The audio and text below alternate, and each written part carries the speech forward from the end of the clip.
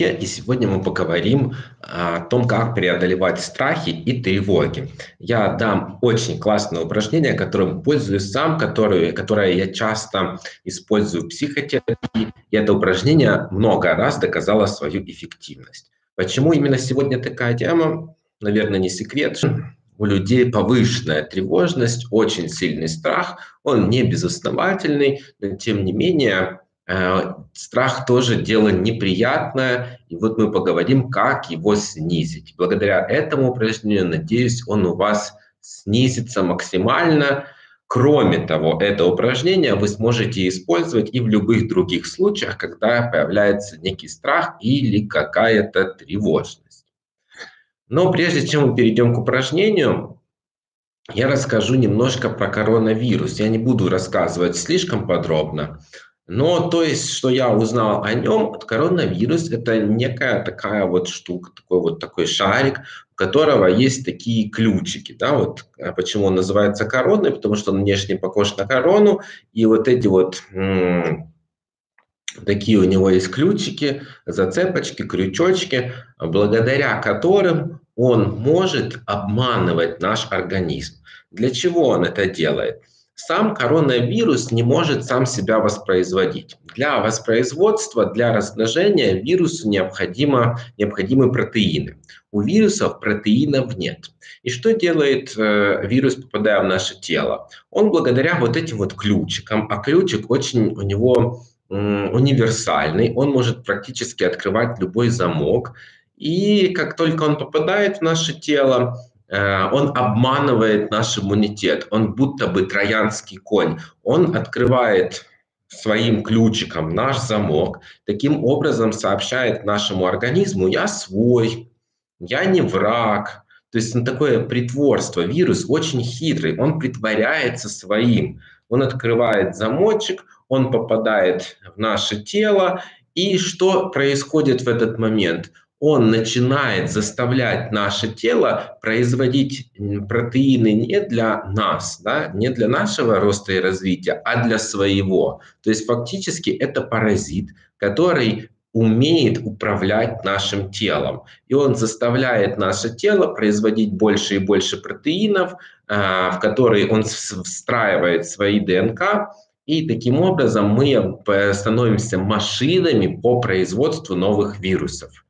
вирус очень умный, вирус очень хитрый, и вирус действует через обман. Он может обмануть наш иммунитет, и он может обмануть наше тело.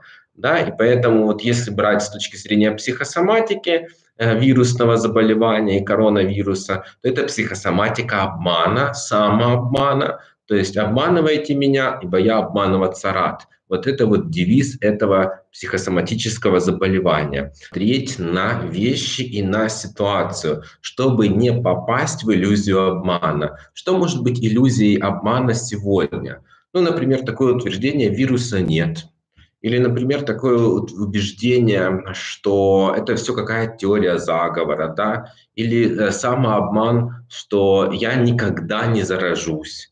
Э, ну, то есть, и подвергая себя вредному риску. Ну, то есть, любые формы самообмана, они открывают нас для вируса, для атаки вирусов. Поэтому, ребята, не обманывайте себя. Вирус – дело серьезное, а обман вам не на руку. И, соответственно, что же мы можем сделать, чтобы защитить себя от вируса? Я обещал упражнение, чем и готов с вами поделиться.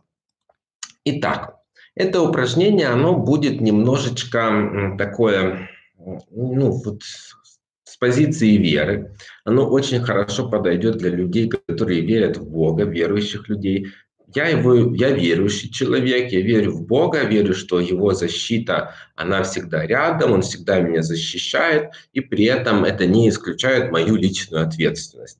Если вы не верите в Бога, ну что ж, вы можете использовать такие слова, как подсознание, вы можете использовать э, то слово, во что вы верите. Ну, я верю в Бога, и я верю, что это упражнение именно поэтому и работает.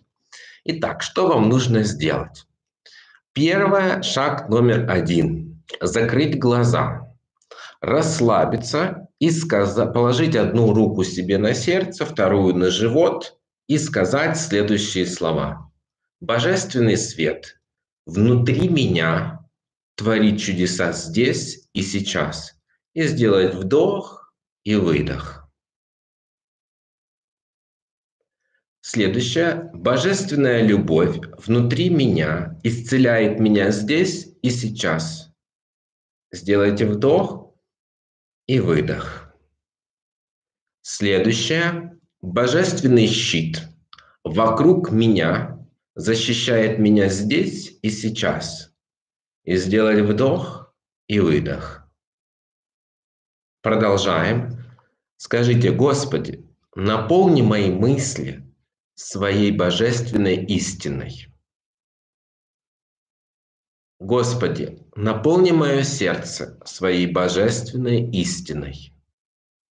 Господи, наполни мое тело своей божественной истиной.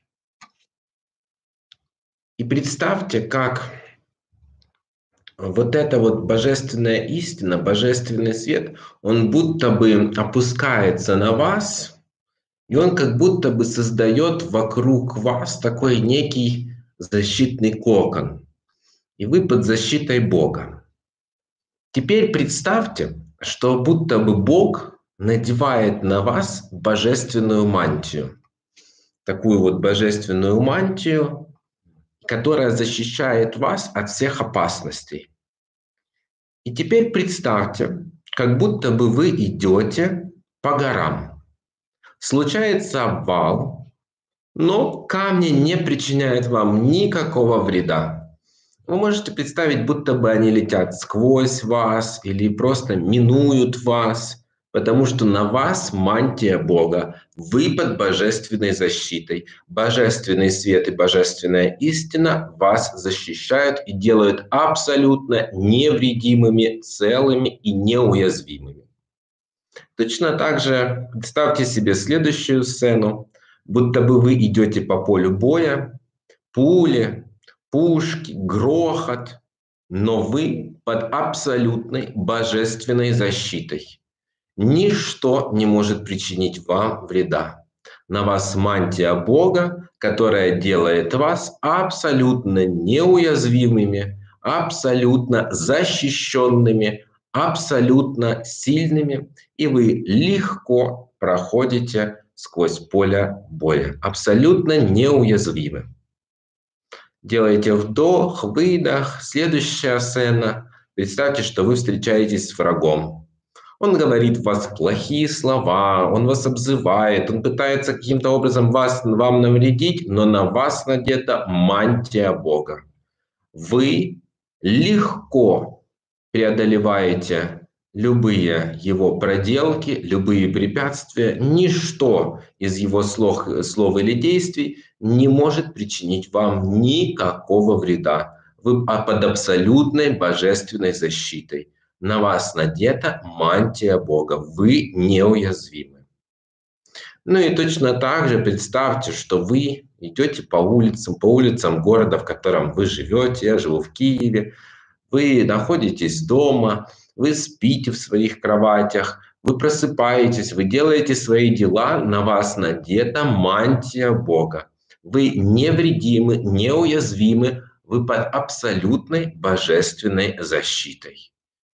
И точно так же скажите, я под абсолютной божественной защитой. Божественный свет, божественная любовь и божественная мудрость защищает меня прямо здесь и прямо сейчас. Такова моя воля, так будет. И сделайте приятный вдох, выдох.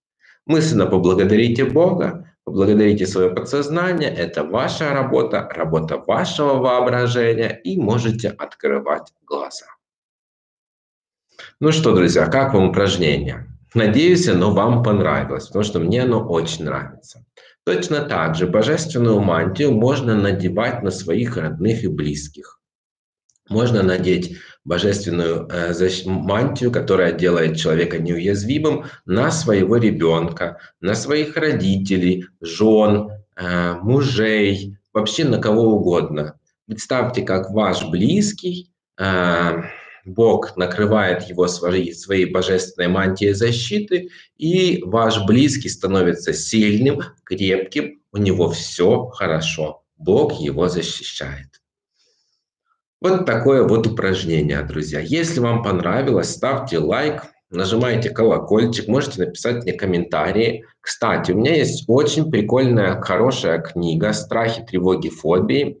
Ее можно найти в Google, в Google Books, на Litres, а, в магазине Озон, вообще практически во всех книжных электронных э, в магазинах электронных книг она есть. Она называется «Страхи, тревоги, фобии». Артем Федоров. В этой книге вы можете найти много классных, крутых техник, э, мои, моих комментариев, моего мнения, моего, из моего опыта, опыта моей работы – как справиться с такими неприятными состояниями, да, и что же с ними делать. Э, стоит она недорого, кстати, очень-очень дешево, не больше, чем чашка кофе на улице, да. Но ценность этой книги очень велика. Поэтому, друзья, читайте мои книги, смотрите мои видео, подписывайтесь на мой YouTube-канал, мою Facebook-страничку. Ну и до новых встреч. Всем удачи, всем крепкого здоровья, смелости и мужества. Всем пока-пока.